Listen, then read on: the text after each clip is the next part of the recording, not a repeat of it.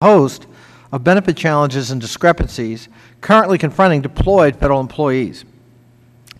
Federal workers who serve our nation in combat areas of Iraq and Afghanistan and other war zones deserve assurance that the Federal Government has a uniform strategy in place to handle both pre- and post-deployment issues, no matter the employing agency. With tens of thousands of Federal employees having served overseas in combat theater in this decade, it greatly disturbed me to learn comments from a former deployed Federal employee who was gravely injured by enemy fire last year in Iraq, that the military saves your life, gets you home, and then it's totally up to you. In addition to ensuring seamless medical care upon return and efficient and straightforward processing of workers' compensation claims, I believe Federal agencies need to do more in support of these individuals stateside following their deployment in the areas of medical screening, mental health support services, and in dealing with their home and other agencies when filing for benefits and seeking treatment. Unlike their military counterparts, deployed Federal employees do not operate within an established framework and often have to navigate bureaucratic hurdles to get their health care coverage unaided. Given the expanding role of Federal civilian employees in support of ongoing military operations and statecraft endeavors. Agencies are in a position of needing to recruit Federal workers who are willing to serve in hostile environments. As a result, addressing pay inconsistencies, leave flexibilities, and holes in post-deployment medical care and workers' compensation are key to guaranteeing such an abundant and dedicated workforce.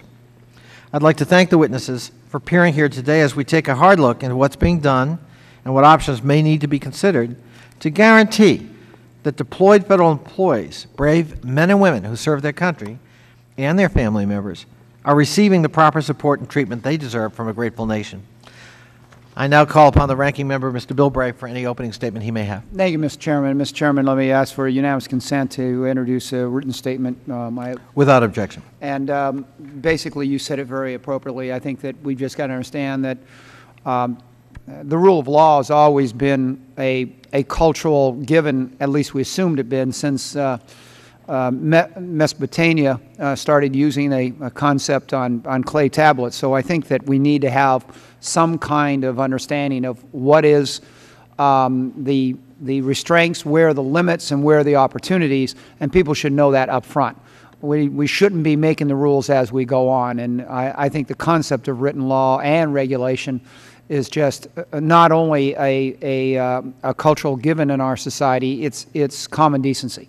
And so I will uh, um, uh, look forward to this hearing. I think that the, the new Obama administration's commitment to uh, creating a civilian surge in Afghanistan really is an example of where we need to get our act together on this. We need to set out these lines. The new administration obviously expects this to be a critical part of our national presence around the world, so we need to make sure that that presence is under the rule of law. Now, yield back, Mr. Chairman. I thank the gentleman from California. I now call upon the gentleman from Maryland, Mr. Cummings. I want to thank the chairman for calling this uh, hearing today. And certainly I thank our witnesses who have come today to examine policy uh, disparities that exist across Federal agencies that deploy civilian employees to serve our country in deployed environments. Since 2001, more than 41,000 civilians have served or are currently serving in Iraq or Afghanistan. One of the realities of fighting concurrent wars in both Iraq and Afghanistan is that our military cannot conduct its missions alone. The military has to use every available soldier on the front lines. Additionally, the nature of how we fight our current enemy has caused us to rely more heavily on civilians not only to provide assistance in service support roles, but also to be actively engaged in the day-to-day -day stability and reconstruction efforts alongside our troops. Rightfully, we go out of our way to ensure that our deployed military troops receive the proper medical and compensation benefits while they fight for our nation. Well, our deployed civilian population should be no different as they face dangerous situations also. Studies have found disparities with approving workers' compensation and post-deployment medical screening affecting benefits, regardless of whether a deployed civilian originates from the Department of Defense, the State Department, or the United States Agency for International Development, these volunteers are placed in harm's way and deserve equitable treatment when it comes to medical care, benefits, and compensation. DOD and State already have the infrastructure to provide medical care while civilians are deployed in a theater of operations. But unlike the military, when our civilians return home, their medical wellness is forgotten. We mandate that the military complete post-deployment health assessments to identify symptoms related to post-traumatic stress disorder. Yet, DOD and State are the only agencies that require medical screening of civilians upon return from deployments. Therefore, we need to do a better job of communicating the policies that govern medical care, benefits, and compensation for our deployed civilians. As we have learned from casualty reports, there are numerous risks that a civilian accepts when he or she decides to work in a combat zone. It is no secret that money and benefits are lucrative enticements for agencies to attract individuals willing to deploy. As such, individuals should receive comparable compensation commensurate with their skill levels and the amount of risk involved in their daily functions. Finally, understanding that Federal agencies operate under different pay systems, compensation packages will differ to a degree. But the Office of Personnel Management should provide overarching compensation and benefit policy for deployed civilians and the authorities given to the agencies for implementation. Given the course of our military, I do not foresee a change in the near future on our reliance of civilians on the battlefields. As we continue a whole of government approach to stabilizing and reconstructing other regions around the world, we must be creative in utilizing existing systems to meet our current challenges. I, I think that it would be worthwhile to expand existing DOD and State procedures to incorporate the civilian aspect.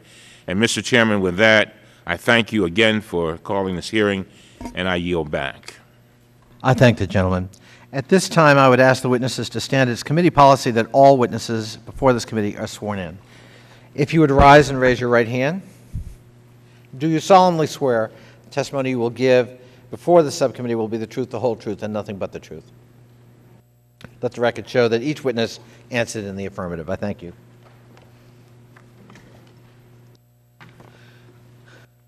Um, If I may give, give a brief um, introduction to our panelists.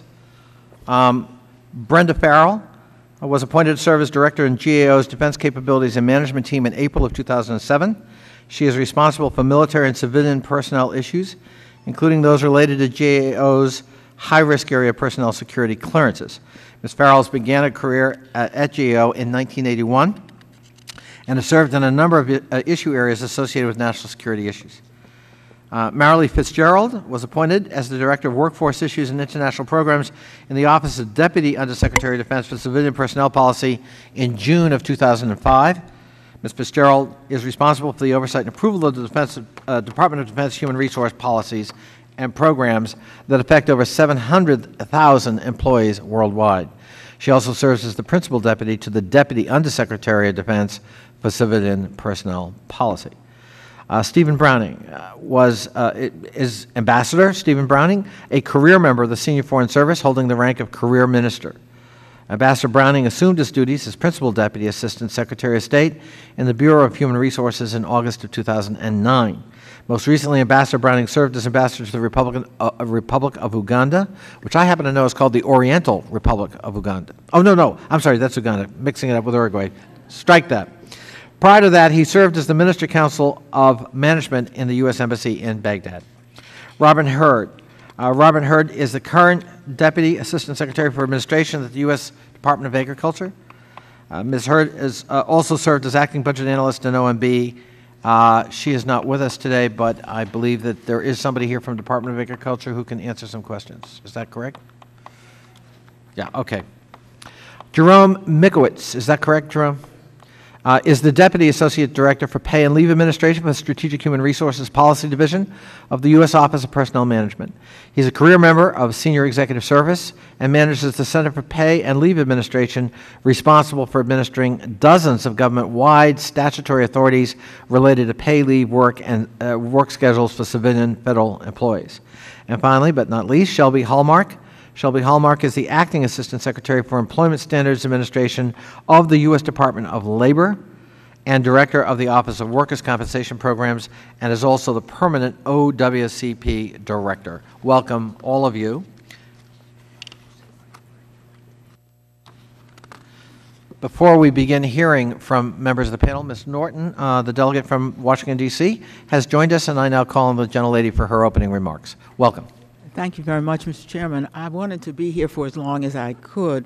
Uh, this uh, subcommittee has done an excellent job of taking care of federal employees at home, uh, but our own work indicates that we've not been nearly, uh, the Congress at least, has not been nearly as vigilant uh, when we deploy, yeah, that's the right word for it, uh, civilian workers abroad. I have visited uh, whenever I visit abroad. In fact, the first people we come in contact with are federal employees just like the ones uh, who are our own constituents here, except there they are, uh, far away from home. And more and more of them have been deployed to combat zones and serve under what can only be called, Mr. Chairman, hardship posts.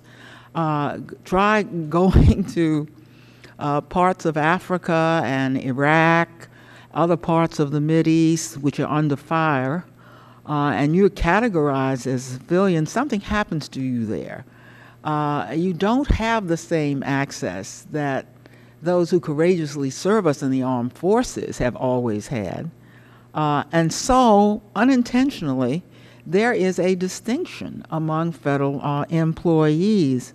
Um, we are responsible for them not just in this country, but most especially uh, when they are abroad. And, Mr. Chairman, uh, I, I recall um, uh, speaking with employees who had been deployed for some time in various parts of the Mid East and, and were astounded to learn. Well, one of the complaints, indeed, was uh, that there has to be turnover. People are, you know, there's, there's too much turnover, that our, our employees come for a while and then they go.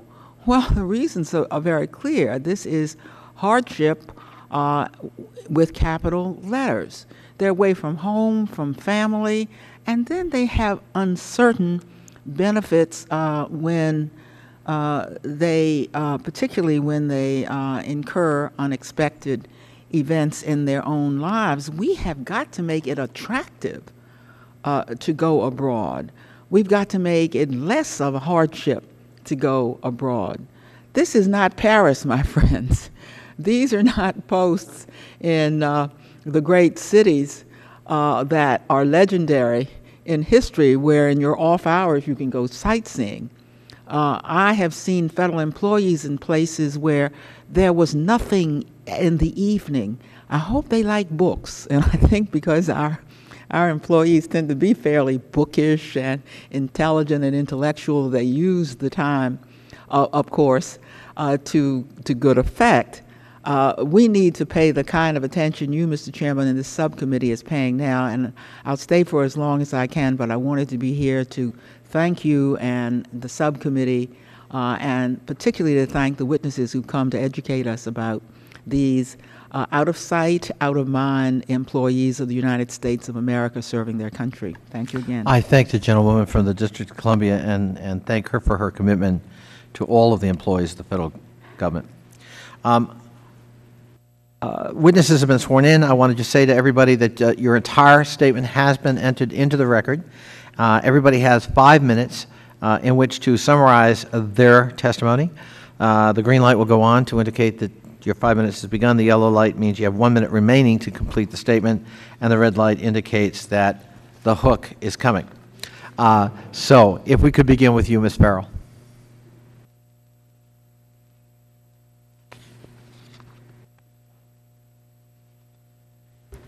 I can project, but I think this will be better.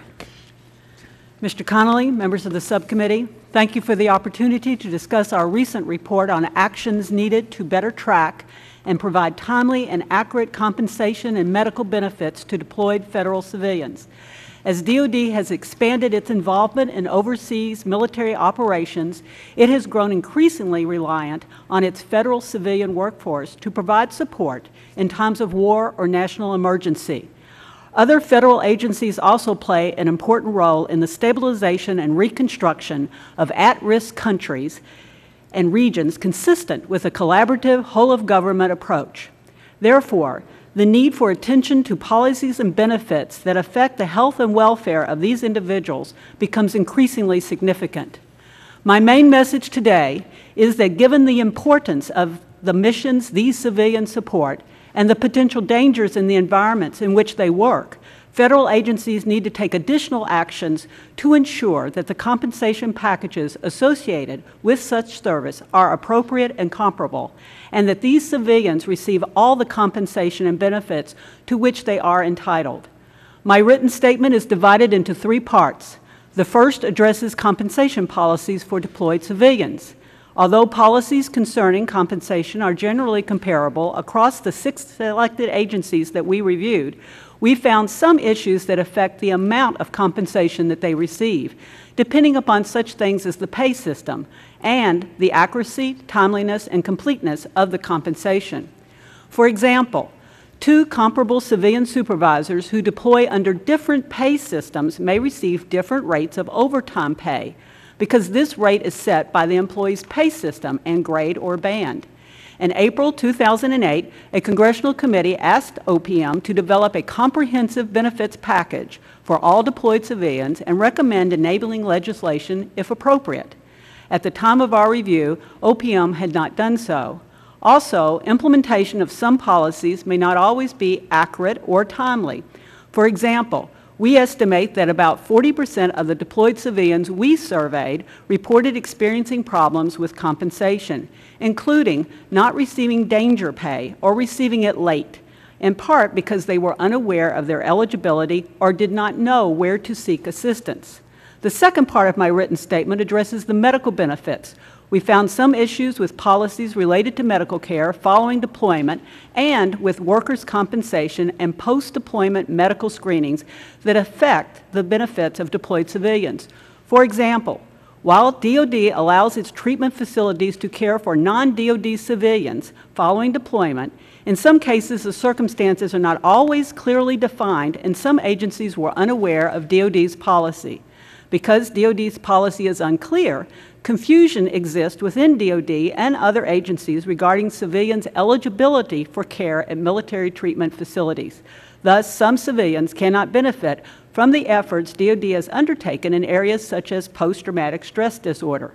Also, civilians who deploy may be eligible for benefits through workers' compensation.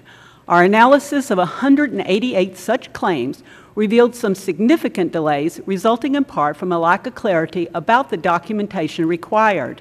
Without clear information on what documents to submit, applicants may continue to experience delays. Further, while DoD requires medical screenings of civilians before and after deployment, State requires screenings only before deployment. Prior GAO work has found documenting the medical condition of deployed personnel before and after deployment was critical to identifying medical conditions that may have resulted from deployments. The third part of my written statement addresses the identification and tracking of deployed civilians. Each of the selected six agencies included in our review provided us with a list of deployed civilians, but none had fully implemented policies to identify and track these civilians. DoD, for example, had procedures to identify and track civilians, but concluded that its guidance was not consistently implemented. While other agencies had some ability to identify and track civilians, some had to manually search their systems. Thus, agencies may lack critical information on the location and movement of personnel, which may hamper their ability to intervene promptly to address emerging medical issues. Mr. Connolly, that concludes my remarks. I'll be pleased to take questions when the committee so desires. Thank you so much. Ms. Fitzgerald. Thank you. Good afternoon, Mr. Connolly, Mr. Bilbray, Mr. Cummings, and Ms. Norton. I am here today representing the Secretary of Defense and all of our civilian employees who deploy to austere environments like Iraq and Afghanistan. On their behalf, let me thank you for your strong support of our programs and benefits that help compensate and provide incentives for our deployed workforce. The Department of Defense civilian employees play an integral role in supporting our military members around the globe in all types of operations. Since 2001, more than 41,000 civilians have served or are currently serving in direct support of our U.S. military operations, including 26,000 to Iraq and 7,900 to Afghanistan. We are proud of our brave men and women who have served. Their sacrifice, service, and experience are valued, respected, and recognized as career enhancing. Regrettably, our workforce is not immune from the inherent risks of these missions. Some of our employees and their families have made the ultimate sacrifice for our country. For these brave, injured, and fallen civilians, for all their colleagues who have answered the call to serve, and for all those who will answer the call in the future, the Department is committed to ensuring that these employees have the highest level of support and care as may, as may be needed to serve our noble mission. The Department has learned that the dynamic and asymmetric 21st century mission challenges require greater and more expeditionary capability within our workforce. In response to these expeditionary missions, the Department developed a new framework through which an, an, appropriately sized subset of the Department of Defense civilian workforce is pre identified to be organized, trained, and equipped in a manner that facilitates the use of their capabilities for these operational requirements. These employees are collectively known as the Civilian Expeditionary Workforce, or the CEW. We have learned that our employees volunteer for these types of assignments primarily because of a desire to serve our country, to witness the results on the ground, to make a difference, and to engage in this type of work. They believe it is an honor and a privilege to serve our country and to support our warfighters. And in return, they bring back broadened perspectives, critical experiences, and a deeper understanding of their role in support of our expanding missions. The men and women who answered this call are making a critical difference. Building a strong civilian expeditionary workforce, however, also requires promoting the right incentives and benefits to help combat the inherent risks of these missions. Thanks to the strong support from Congress, we have been able to offer many additional financial incentives. They certainly include the 35% danger pay allowance and 35% post differential, and allowances and benefits and gratuities comparable to those provided by the Foreign Service. That benefit was offered to all federal civilian employees.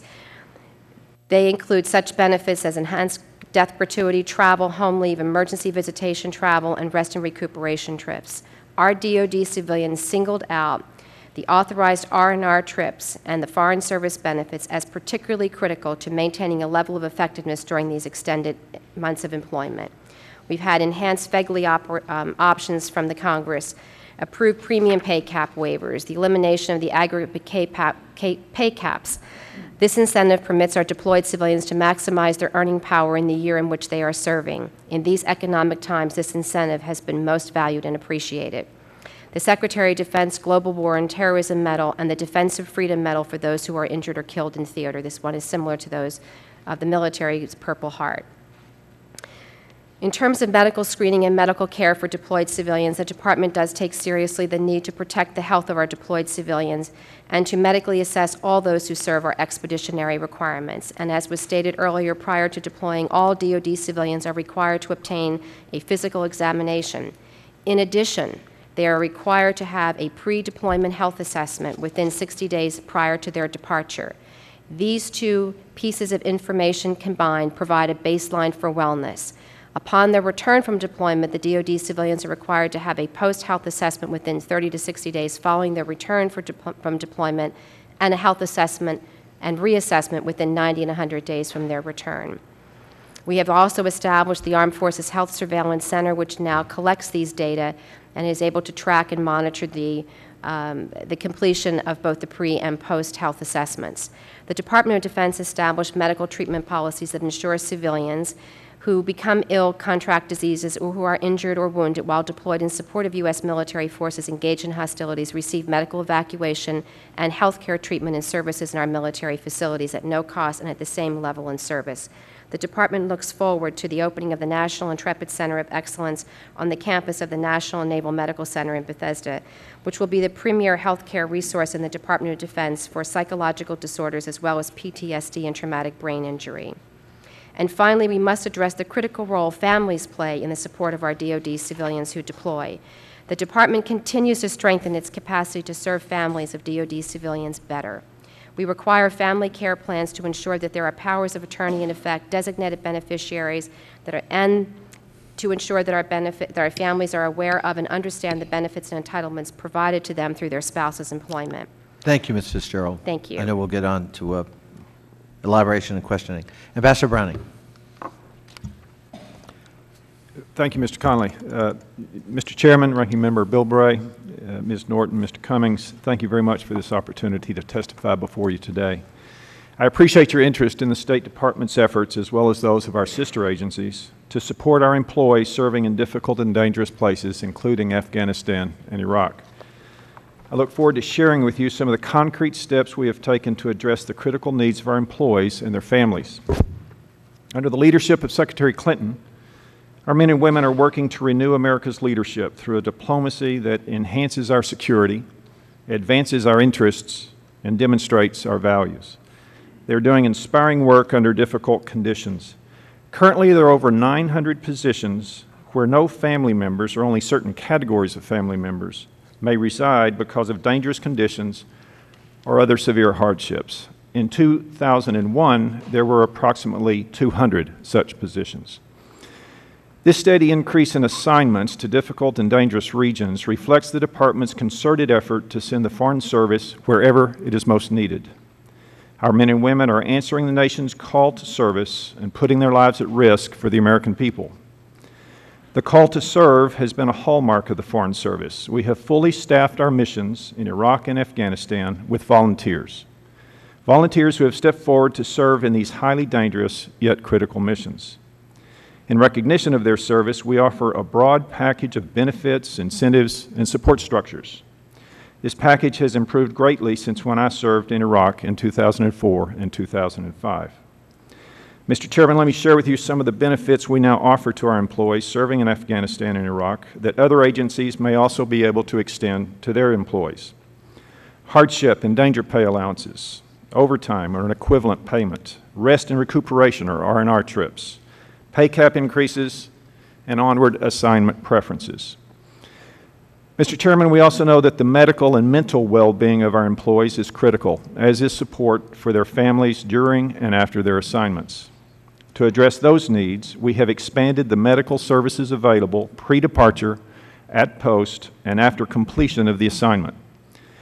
And we expanded the scope of our Family Liaison Office to provide support to employees and family members during an unaccompanied tour. All employees assigned to Afghanistan and Iraq attend pre-departure training that familiarizes them with security issues unique to combat zone assignments. It alerts them to the causes and the signs of stress-related conditions, and it provides them with techniques for managing the stress of being in a war zone. Following any high-stress assignment, we conduct a mandatory high-stress outbrief that helps employees recognize post-traumatic stress disorder. Our Office of Medical Services established a deployment stress management program with a board-certified psychiatrist to serve as director, two social workers, and an administrative assistant. Additional mental health personnel have been assigned to the health units in Baghdad and Kabul. Employees who are identified as possibly suffering from stress-related disorders and who require treatment that is not available locally are assigned to a six to seven week program of treatment conducted by our medical office. To support essential continued monitoring, we have developed an assessment system for Department of State employees who have served in combat zones to screen for PTSD through our Deployment Stress Management Program. And our Family Liaison Office has expanded in size to work with our families while the employee is serving in an unaccompanied tour. We are currently working with our colleagues at the Office of Personnel Management and the Department of Defense to examine the compensation benefits available to deployed civilians to ensure that it meets our needs for recruiting and retention. If changes are needed, the administration will put forth a comprehensive proposal to address the issues identified with the goal of regularizing authorities across the agencies. This interagency approach has made considerable progress, and we look forward to working with Congress to support all federal civilian employees serving in zones of armed conflict. In conclusion, Mr. Chairman, we believe that our employees and their families deserve comprehensive support before, during, and after their overseas assignments. The need is particularly great for those serving at our most difficult and dangerous posts. The Department of State has worked hard to provide benefits and programs that support our employees, but we recognize that our work may never be truly done as we adapt to a changing world. Thank you for providing me with this opportunity to appear before you and the members of the subcommittee, and I look forward to receiving your questions. Thank you. Thank you. Uh, Just an advisory, um, uh, I'm hopeful that we can hear the last two pieces of testimony before we break for votes. Votes are going to be called very shortly. Uh, They are the last votes of the day, so we'll take an appropriate break when that, when we're notified of that, and come back. Forgive, forgive the uh, imposition, but it's the way of the world here in the House of Representatives. Mr. Mikowicz. Representative Connolly, Delegate Norton, and Representative Bilbray. On behalf of our director, John Berry, I want to thank you for inviting the Office of Personnel Management at this hearing today and for your commitment to federal pay and benefits. We are deeply grateful for the service of federal civilian employees deployed to areas of armed conflict. They put their lives in danger and they work under extraordinary challenges to get the job done. OPM is committed to ensuring the government has fair and accurate compensation necessary to attract and retain an effective civilian workforce. Federal civilian employees who are deployed to work in Iraq and Afghanistan and other overseas locations are entitled to compensation that's controlled by three factors, and these three factors influence the application of pay and benefits. First, deployed civilians continue to serve under normal pay system, and most pay and benefits are across the board but some are entitlements um, and some are discretionary flexibilities, but the flexibilities are determined on a case by case basis. Entitlements include things like annual pay adjustments, step increases, overtime, and leave. Flexibilities are applied on a case by case basis. For example, the use of recruitment, retention, and relocation incentives are discretionary and may vary based on staffing needs. The rules provide for some exceptions overseas. For example, since deployment to a war zone is considered a life event, employees have an opportunity to elect different health insurance coverage or enhanced insurance coverage.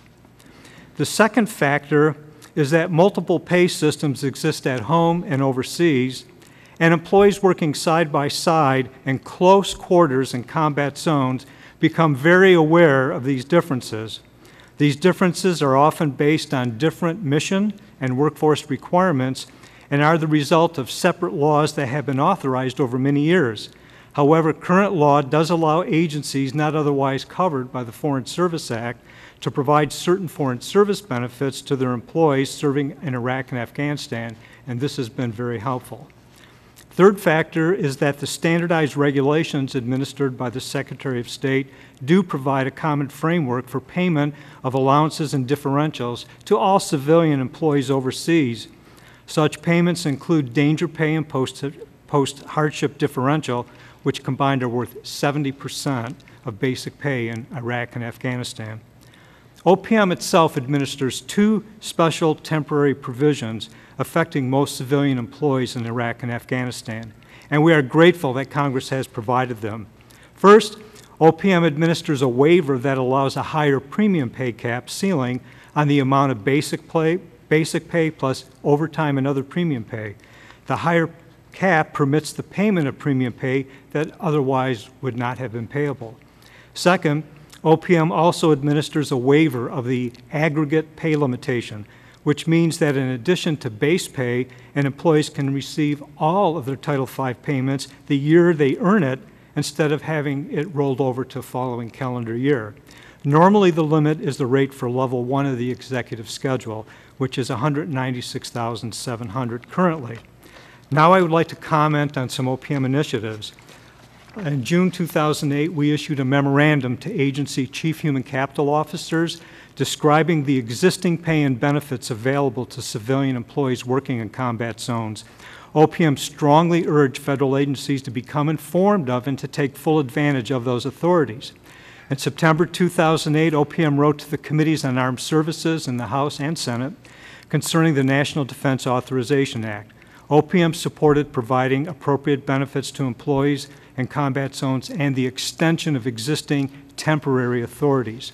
We continue to work collaboratively with DoD and state and other agencies to determine how we can provide better and more consistent pay and benefits, and this is a work in progress. So in conclusion, for the changes that we find are needed, the administration will put forth a comprehensive proposal to address the issues identified.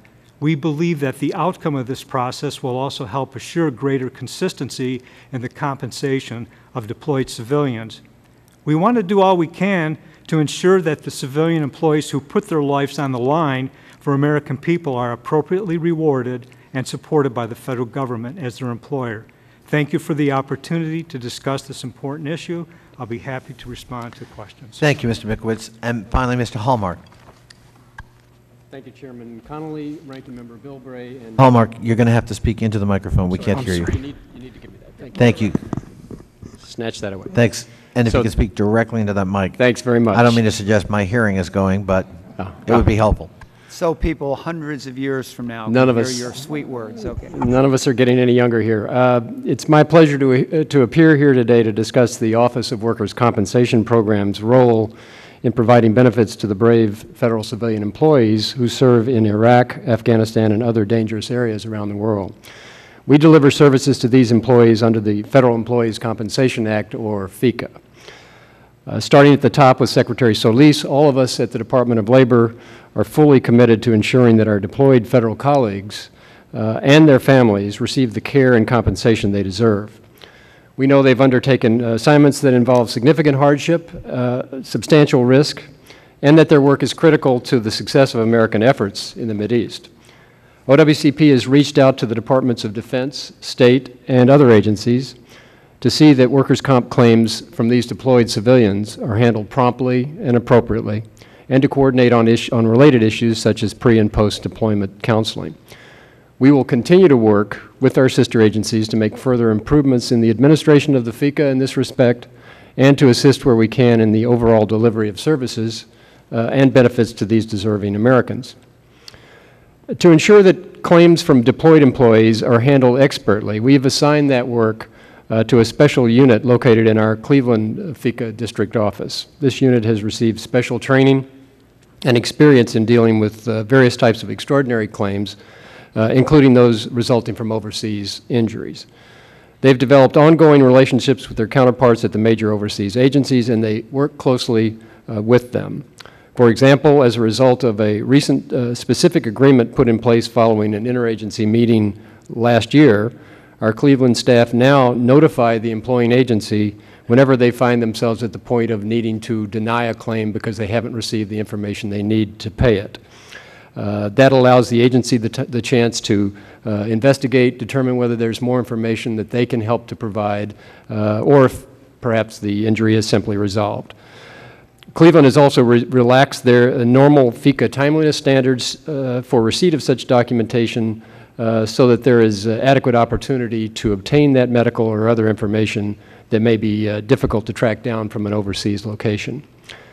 As noted in my written testimony, FECA coverage for deployed individuals, although not universal, extends to an extremely wide range of circumstances beyond the normal workplace nexus.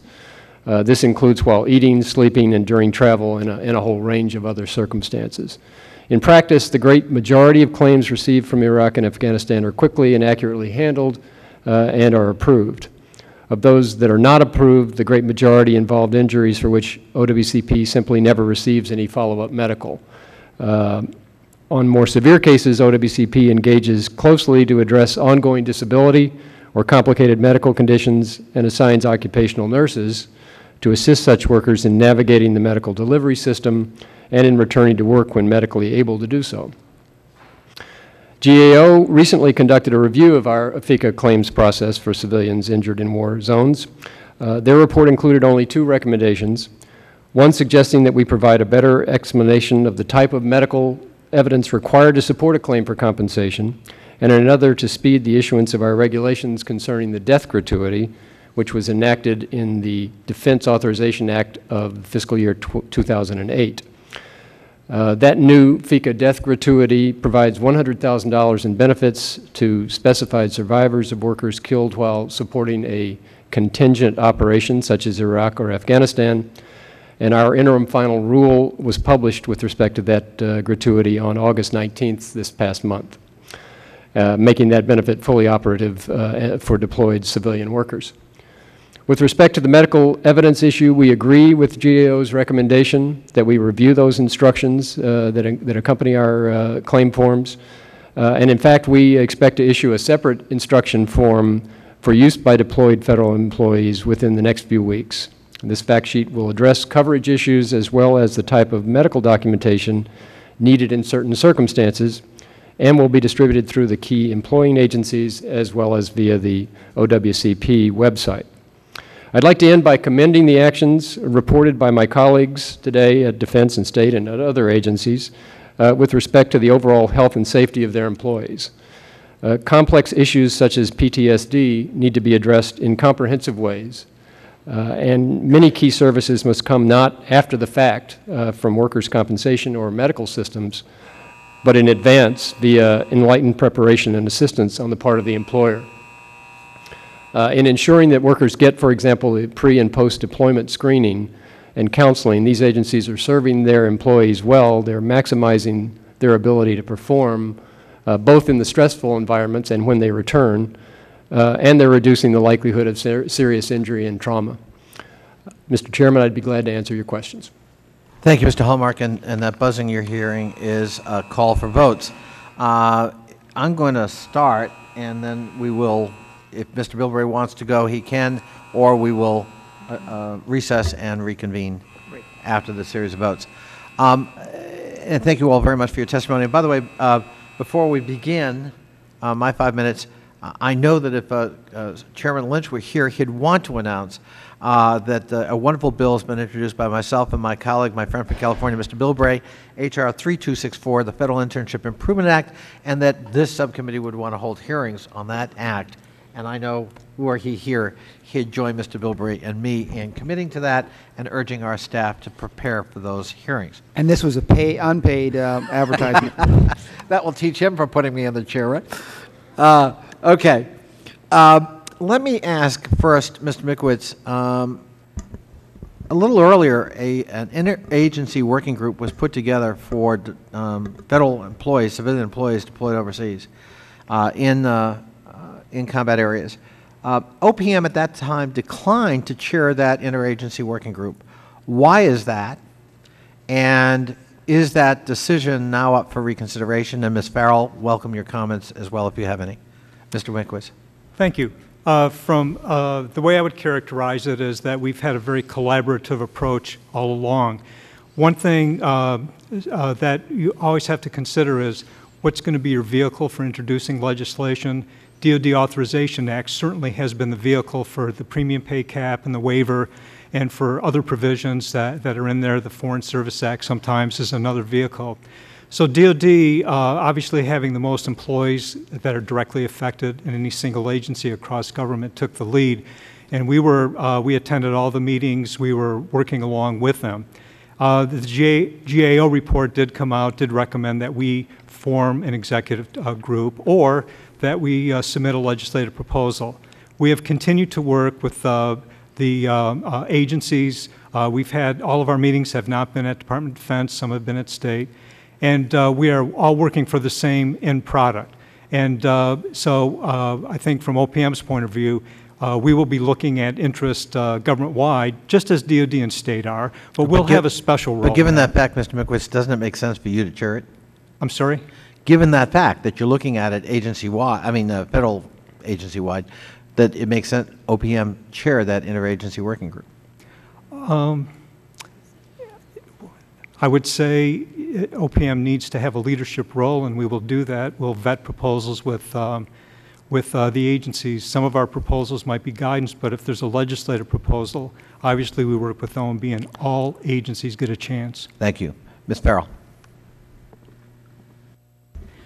Thank you, Mr. Connolly. Uh, Our report had 10 recommendations, and the first recommendation was directed at OPM uh, to lead such a comprehensive review as requested last year by the Oversights and Investigations Subcommittee of the House Armed Services Committee to determine if legislative changes were needed. And we don't want to uh, not give credit to OPM and especially with DOD for the meetings that they have had to try to organize uh, such a, review, but we do think it's time for OPM to step up and, and have the leadership role. As you may know, Strategic Human Capital Management has been on GAO's high-risk list since 2001, and it has remained on that list as our most recent list was January 2009, where we noted that leadership was needed in this area of human capital reform to make sure that there was a level playing field. And there's much concern about the number of pay systems that we're talking about today that often result in differences in the amount of pay or what pay one receives. And this is a responsibility of OPM where they could step up and show the leadership role. Thank you. Ms. Yes. Fitzgerald. Yes, I'd like to add um, to this. I think the spirit of that recommendation is now in full play because OPM, Department of State, and the Department of Defense are coming together, and including O- OMB actually, jointly. It's almost a triumvirate of leadership. So I think your concerns about having OPM in the lead have been addressed through this interagency working group. They're working as full partners, full leaders in this, and issues such as the disparities in pay systems are being addressed through the proposals that we'll be sending to Congress. Thank you. Um, uh, Let me ask again, uh, Mr. Mikowicz and Ms. uh, Ms. Farrell, and- and uh, we're probably going to have to break after this. Um, Increasingly, we're using uh, term-limited employees, known as 3161 employees. Um, One of the concerns I would have, and I think this, the subcommittee would have, is with the best of intentions, what happens to those folks should they suffer uh, a medical uh, condition uh, in the service of the country, and/or should PTSD, uh, post-traumatic stress syndrome, somehow occur or make itself manifest long after the five-year term is over. Um, We know that if you were in the military, we'd deal with that. But if you're a limited-term employee or 3161, presumably we would not, unless there are special uh, provisions for that. So I wonder if you'd comment on that. Well, I can say that that's one of the issues we're looking at. Uh, GAO did start with post and, uh, or pre and post-deployment assessments, but obviously there's traumatic injury and other benefits, and those are on the table for discussions. We just haven't reached an administration position yet. But, but we are concerned. Again, this is one of our recommendations. Much is to be learned from DOD in this area of how they have tracked their military personnel and conducted the pre and post and now the rea- reassessments after deployment. Uh, It's a lessons learned, I think, from DOD of what should be with the civilians, because as we noted in our statement, many of the civilians do not have assessments after deployment, and as you mentioned, uh, post-traumatic stress disorder often shows up six months after they return. We're going to have to vote, and we have five votes. The first one is a 15-minute vote, that's the one right now, and then there are four five-minute votes, presuming that's it, and hopefully that's it for the day in terms of votes. So bear with us, it's going to be about, I'd say quarter, maybe sometime quarter after, roughly, if, if, if you can uh, hang in there with us, because I think there's a lot more we'd like to get to and talk to. Forgive the interruption, but it's, as I said, the nature of the beast here. I appreciate your indulgence. Uh, Obviously, one of the things we're going to want to talk about uh, is the uneven, unevenness of how we're treating men and women who serve overseas, uh, and what services are allowed and what services are made available by sufferance, uh, and what, if any, changes we ought to make to try to move more toward a uniform policy and make sure that quality services are available to our men and women who serve overseas. I also want to get back to the problem of um, uh, time lags on claims and complaints. Before you go, though, I just might note that the, uh, if the 3161 employees you were just referring to are, I believe, federal employees, so they have FECA coverage regardless of the limitation of their, of their uh, appointment, and that coverage would continue uh, in perpetuity for the latent uh, diseases such as PTSD.